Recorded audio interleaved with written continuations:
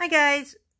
So, as I mentioned in a previous video, I was making some of these wax seal stamps and I'll show you like I got a mushroom here.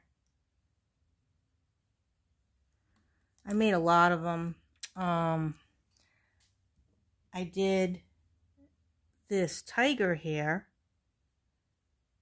but I think it shows up better in the white. And I made a few others. I got a butterfly here. And the tree of life I did um, in that color. And I did it in this pretty purple color. So, you know, I, I had my fun with it. Now, when I was having the tea light, I had the fan on and I had something blocking it. So, you know, I had the tea light going, it was flickering it took forever. And when I say forever, it took forever. So it must have been a half hour and it still didn't do the job probably because, you know, I even though I had a border, like I had all stamp pads over here and I had the light right here, it wasn't working. So what did I do? I took a torch and I did it. Now, I don't recommend to do this. This is just something I did because I was in a hurry and it worked. So I did it and I'm going to show you how I did it. So I needed a lighter, and of course, my husband is like Tim Taylor. Tim the Toolman Taylor. He will go and instead of just getting you one little thing that you need, he goes to the max with it. So he ended up getting me this little torch. And I'm like, you gotta be kidding me. What am I gonna do with this? I don't need this powerful thing. Well, of course, I used it for my stamp. So I'm gonna show you what I did. Again, don't try this at home. I just wanted to show you a quick way and let's make a little pumpkin with this. So basically, I turned it on, and it was done in like, I don't know, 20 seconds? Let's see.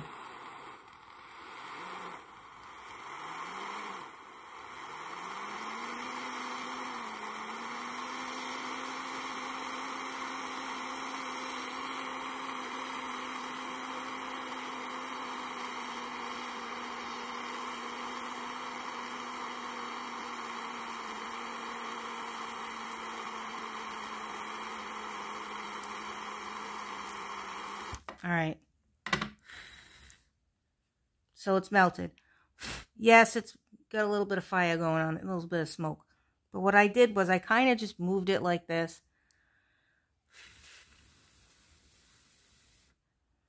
And I let it cool down because if you pour it on the if you pour it on the um, silicone right away and you put the stamp on it right away, it's going to spread too much and be really, really thin and then when you go to pull it off, like I'll show you this one.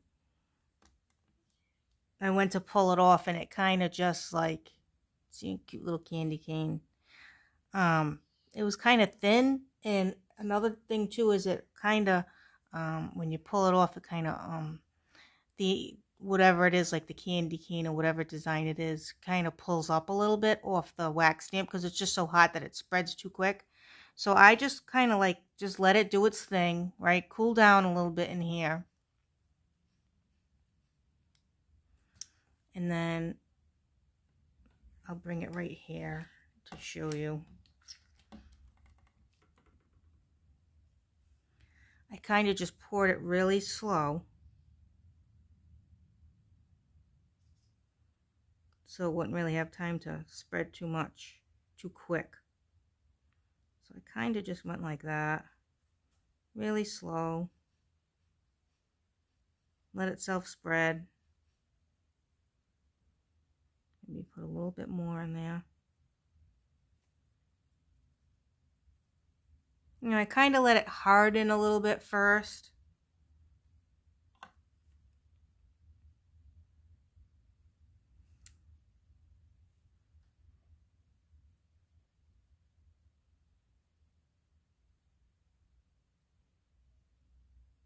And then I just took the stamp and just gently put it in. Okay, let me wipe this off. I mean, guys, it was crazy. I I couldn't stand it. I was trying to make these seals and like a half hour went by and I didn't even make one. And it, granted, it was probably because the fan was on. So I didn't have a lot of time. Well, I did, but, it, you know, because of that,